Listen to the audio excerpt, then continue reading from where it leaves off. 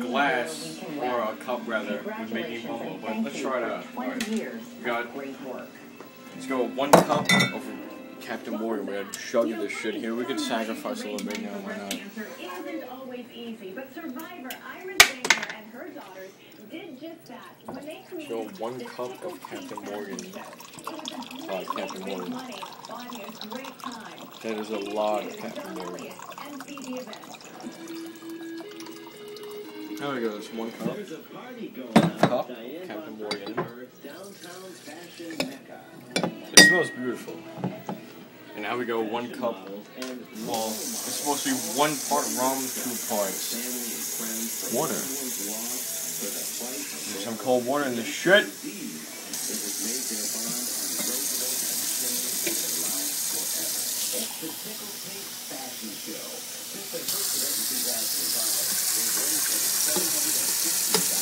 Look at the rum, look at the water.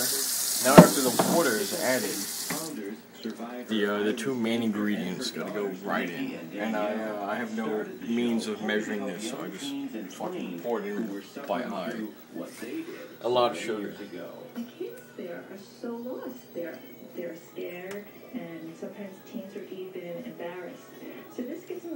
people change the music out there? through and feel like they're I had Alestorm on. If they change it from Alestorm, I'm gonna murder somebody. Tickle has changed relationship with its upbeat vibe. I don't know if that's enough sugar yet though. When No, I gotta the touch more. family, One, and say you don't know what this is. two, It, it started a vocabulary. two and a half.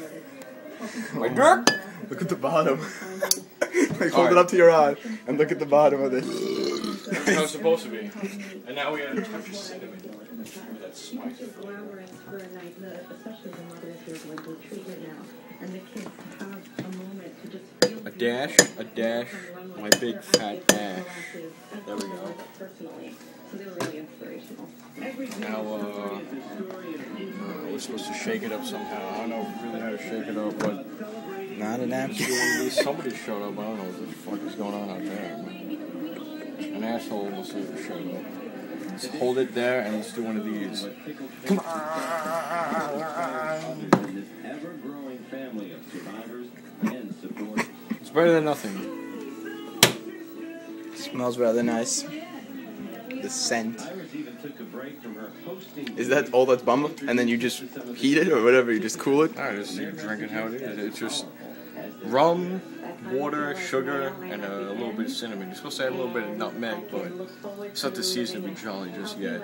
Hopefully, in my lifetime, we'll find a cure so our children do not have to go through the same thing. Uh, I took a pizza twice, chemo both times. pretty good. You wanna try some?